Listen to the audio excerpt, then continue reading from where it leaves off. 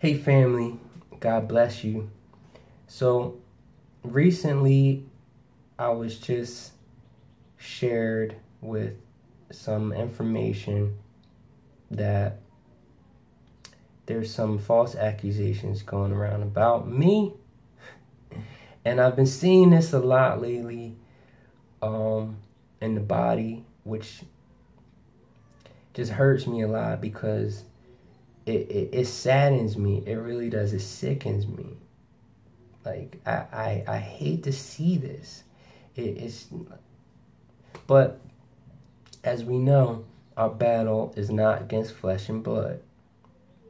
It is is against the enemy, wicked spirits in high places, and if we're going to battle against spirits, we have to use spiritual weapons and not carnal weapons. So, first of all, I just want everybody to know that this is not my battle. This is not my battle. I'm not worried about it. I'm not. But the Lord's put it on my heart to address a few things because I don't want anybody to be led astray because of someone who is choosing to be a stumbling block. So, I want to share this vision with you that the Lord gave to me before I even was given this information today. So, earlier, I saw a huge anaconda, a serpent before me with his mouth open to eat me, to try to devour me. Then a warrior in armor came and grabbed it from behind. Stepping on his body, he pulled his head back and wrapped a rope around the neck and the head of the snake, binding up his mouth shut. Then he tossed it behind him. Mm. I then saw the warrior in armor pull out a mighty sword and hand it over to me. I took hold of it and I knew to raise it up high. I rose it up above me and asked God to charge it up and to set it ablaze with His Spirit and His power. It then was struck by lightning and set on fire. I then saw the snake again, still bound up, and I knew to thrust the sword into the top of the head of the snake.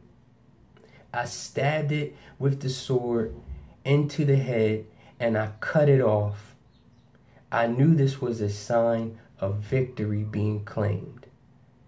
So the Lord was telling me that I was that I already had the victory in this battle before I even knew that I was fighting this battle because our God fights our battles, battles that you can't even see. That's how I know how good my God is. So anyway, what I wanted to address on here was that there's this guy, this this channel called Adam House that apparently is accusing me of leading people falsely, being a false prophet, being an antichrist, which is not true. Because I'm I'm doing this by using orbs in my videos. So, in past videos, you can clearly see there are particles floating around in the video. Whether they're orbs or not, you you could be the judge of that. I don't really follow the whole orb thing because I'm not into the occult. So I don't really know too much about it, but from what I do know is that some people believe they're spirits, some people believe that they're angels, good or bad, could, who knows. But what I do know is that the word clearly clearly proves that there are locations where there are open heavens where there where there are portals open into the heaven into the spirit realm through visitations of God through the manifestation of God and the spirit where there are things that are able to be seen. There are visitations and, and manifestations that are clear for people to see what I believe is that that that is what you have what you see in these videos in these specific videos because in that location was in my old house and in my old house in my bedroom where I used to make my videos that was a a place where I got on my knees many times where I worship my God in spirit and truth, where I prayed my heart out in intercession for people, where I invited the the Holy Spirit to come and and and sit to, to come and be with me that I can be in the presence of God. So it's not a surprise that manifestations of that happen. I saw, I see the, the particles or orbs, whatever you want to call them, because I watch my videos before I send them out to make sure that there's nothing that I that I miss because I care about the messages that the Lord is sending for me, sending through me, speaking through me, and I care about the people that are receiving them. I want them to receive the blessings that God has to give through these messages. So I would not see, I would never, ever speak falsely to someone. And you can see by the fruit that I don't do that. Because Matthew 7 15 to 20 says, Beware of the false prophets who come to you in sheep's clothing, but inwardly they are ravenous wolves. You will know them by their fruits. Do men gather grapes from thorn bushes or figs from thistles? Even so, every good tree bears good fruit, but a bad tree bears bad fruit. A good tree cannot bear bad fruit, nor can a bad tree bear good fruit. Every tree that does not bear good fruit is cut down and thrown into the fire. Therefore, by their fruits you will know them. You can clearly see from all my videos that I bear good fruit because the spirit of revelation is is what is is is the is what leads to God is what is is what reveals Jesus Christ. That is that is the whole point of revelation. I know i messed up that that scripture right there but the whole point of revelation from jesus from god is to reveal Jesus Christ is to lead to Jesus Christ. All the spirit of revelation leads to Christ. It leads people to Jesus. And you can see everything that I speak of, that I share, will lead you to Jesus Christ. What does the word say? The word says that you have to test the spirits. You know people that are of God by who says that Jesus Christ has come in the flesh. And I have made that clear that I believe that Jesus Christ has come in the flesh. That is my foundation. I am planted firmly in that soil. You guys need to, I, I plead to you that you stop listening to these people that are leading you astray because the Lord told me, and I shared this plenty of times before in other videos, that there are dogs sent out of the of, of the pit of hell and these dogs are false Christians. They are people that are telling you that they're telling you the truth and they're leading you astray away from God's truth, taking away your blessings. That is what the enemy is here to do. He's come to steal, kill, and destroy. He wants to steal your blessings. He wants to take away the things that God is trying to give you through his servants. That's what we're here to do. I came on here to to edify the body, to raise up his mighty warriors, to build up his church, not to make friends, not to get subscriptions. I don't care about that. I came on here to be obedient and to do the will of my Father, to do the work that Jesus Christ has sent me to do. He's this guy also is saying claiming that I'm best buddies with one of the the Matthew brothers. Yeah, I know. I, I heard all the things that that people have said that about about these Matthews. I've seen the videos that they made accusing people and yada yada yada, but I'm not getting in all that mess. I don't even know him like that.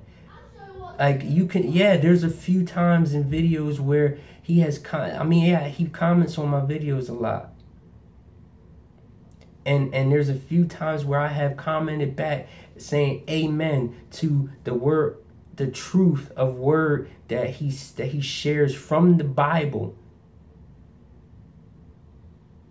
And I, and I have I have commented back to him a few times but that does not make me best buddies with anybody like I don't know, I don't even, I don't know him like that.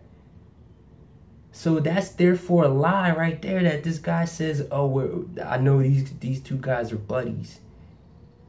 My man, you're you're lying. The devil is a liar. Don't do the devil's work. You're doing the devil's work for him. You're making it easy for him. I rebuke those false accusations right now in the name of Jesus because I know who my God is. And if my God is for me, what can stand against me? Who could stand against me? I stand in his strength and I'm justified by my faith in him. I don't have to fight this battle. And as you clearly see, I already won. I already had the victory through Jesus because we have victory in Jesus. So Isaiah 54 17 says, No weapon that is fashioned against you shall succeed, and you shall confute every tongue that rises against you in judgment. This is the heritage of the servants of the Lord, and their vindication from me, declares the Lord. And Matthew 5 11 says, Blessed are you when others revile you and persecute you and utter all kinds of evil against you falsely on my account. So thank you, you false accus- accusers. Excuse me. Because you're sending blessings to me. Because you're because of your false accusations against me on his account, on God's account, I'm receiving blessings from that. So thank you. God bless every one of you. I pray for mercy for everyone because the Lord says to love your enemies, love those who curse you. So I, I, I love you in Christ. I send love to you. I send mercy to you. In Jesus' mighty name. I pray that that that you would see the error in your ways, that you would see the real truth. And I pray that those who are listening to this stuff, that you would take it to the Lord that you would ask for discernment, that He would show you, that He would reveal to you what is truth and what is not. I thank you for those who who understand this battle that we're going through because that's what it is right now. The enemy is doing anything and everything possible to try to take out those that are doing the will of God, that are that are trying to usher in the kingdom of heaven into this world, that are trying to build up these warriors for God, that are trying to edify the body, that are that are speaking truth. He is trying to knock us off, but it's not going to happen. It's not going to happen because what the will of the Father is, thy will be done on earth as it is in heaven. It doesn't matter what you try to do, Satan. It doesn't matter because you've already you've already been beaten. Jesus has already defeated you. And I want you to know that. because I fear no evil. I love you. God bless you. And I'll talk with you soon.